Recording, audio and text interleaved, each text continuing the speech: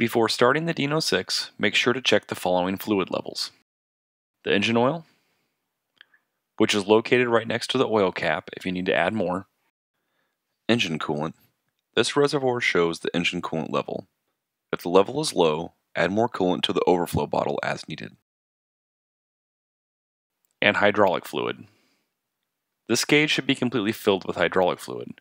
If it is not, make sure to add more fluid until it is filled.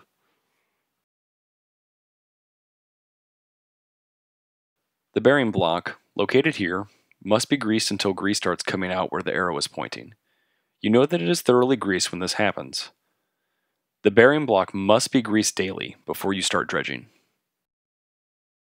Next, there are five pulleys located on the Dino 6.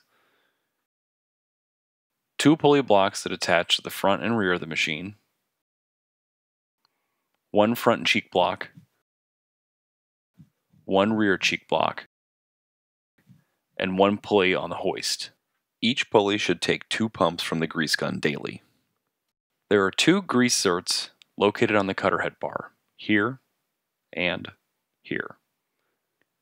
You can manually turn the cutter head by hand to make the greasing easier.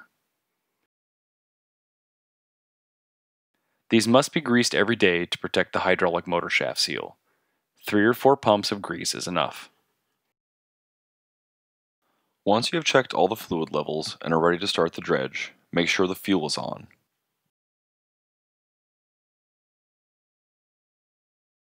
And the main electrical switch is on. Make sure that the pump valve is open by turning it counterclockwise. Check that all the valves are in the neutral position. Before starting, set the throttle about one third out by turning counterclockwise.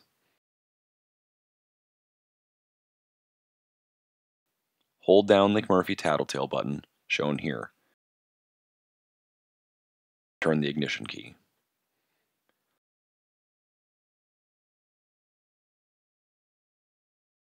Once the engine's oil pressure comes up, you may release the button and the engine will continue the run.